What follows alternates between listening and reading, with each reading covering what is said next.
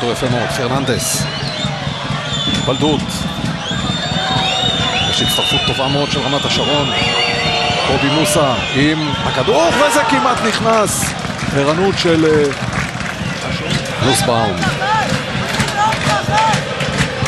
אפרים טקה הגיע בעונה שעברה מגבעת אולגה, זה ליגה א' או ב'. והנה עוד הצלה של אדל מול הבעיטה של אדריאן פרננדס. יש עוד משהו. תמוז. יש שריקה, אין שריקה, יש יתרון, אין נבדל.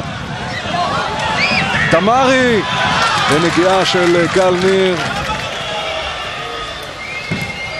מוסא כדור טוב, איזה שער לרמת השרון! והכובש הוא אדריאן פרננדס ורמת השרון בדקה ה-32 לשמחת ראש העיר עולה כאן ליתרון כל כך מוצדק, כל כך שמגיע לה והפועל תל אביב סופגת בפעם הראשונה העונה. מגיע להם. מוסא עמוד בול! אוף, זה היה קרוב מאוד להיכנס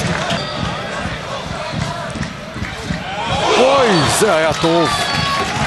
זה טס אל הצד התחתון של המשקוף. כן, ובלדות על הקו.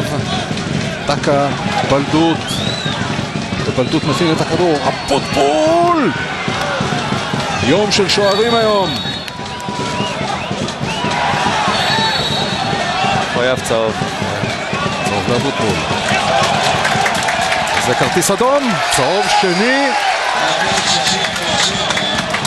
לאבוטבול. עבירה מיותרת. עבירה מיותרת. ממן.